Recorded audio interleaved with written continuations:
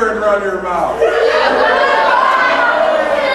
And his opponent from Detroit, Michigan, weighing in at 201 pounds,